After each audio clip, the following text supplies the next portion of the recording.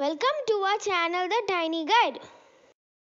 We will see the trick to multiply a number by 99, 999, etc. This will be interesting as it has less calculation. First, we will see how to multiply a whole number by 99. Step 1. Multiply the number by 100. Step 2. Subtract the same number from the answer obtained in step 1. We will see some examples now. Example 1.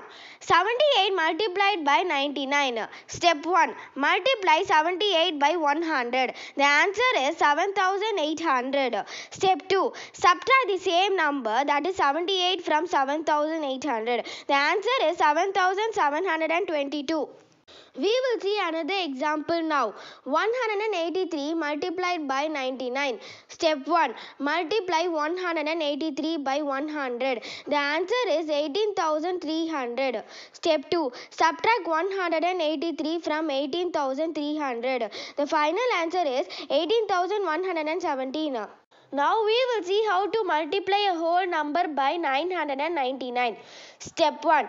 Here we need to multiply the number by 1000. Step 2. Subtract the same number from the answer obtained in step 1. Hope this trick is easy. We will see an example now. Let's multiply 2095 by 999. Step 1. Multiply the given number by 1000. Step 2. Subtract the answer from the answer obtained in step 1. Now we will multiply a decimal number by 99, 999, etc. Step 1. Multiply the decimal number by 100, 1000, etc. Step 2. Subtract the same decimal number from the answer obtained in step 1. We will see an example now. We will multiply 308.9 by 999. Step 1. Multiply the given decimal number by 1000. The answer is 3,08,900. Step 2. Subtract the same decimal number from the answer obtained in step 1.